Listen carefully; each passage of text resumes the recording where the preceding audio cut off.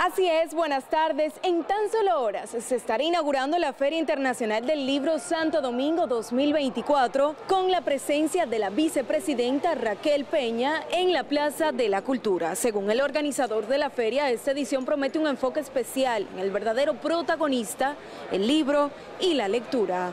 Esta plaza se convierte eh, durante estos 10 días en un pulmón verde, que lo es, y en un pulmón cultural. Entonces, bueno, en ese sentido ya habrán visto que tenemos los pabellones en pie, eh, los pabellones con la mercancía eh, instalada en la mayoría de los casos. Este año, según informó el Ministerio de la Cultura, el evento se ha planificado bajo una visión más austera y centrada en el contenido literario y cultural.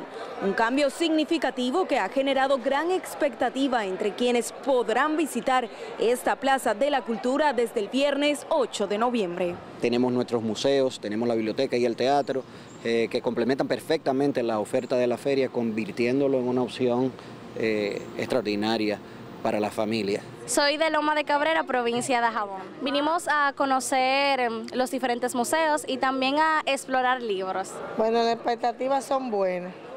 Vamos a vender mucho, van a haber muchos títulos nuevos.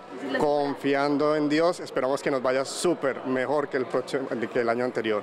En esta ocasión, uno de los aspectos más destacados de la feria es la participación por primera vez del barrio neoyorquino de Washington Heights, un verdadero epicentro de la comunidad dominicana en el extranjero. A través de este pabellón se rendirá homenaje a la diáspora y se explorará el impacto cultural de esta comunidad en el arte y la literatura.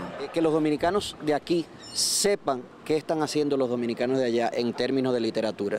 Por eso de ahí el eslogan de la feria, el lema de la feria de que los libros conectan. Desde tempranas horas de este jueves se observaba personal de limpieza, jardineros y electricistas adelantando los acondicionamientos en los 15 pabellones y salas que formarán parte de esta feria. Es todo lo que tengo de mi parte, retorno con ustedes al Centro de Noticias.